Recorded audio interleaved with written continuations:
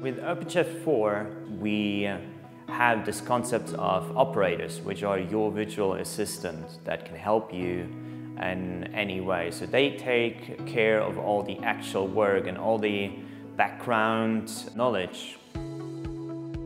As an example, when you're an e-commerce business, you cannot always predict how fast you scale. And when a lot of customers come on a holiday, you can trust the operators to operate the cluster in a way so that you can scale when your customers demand that.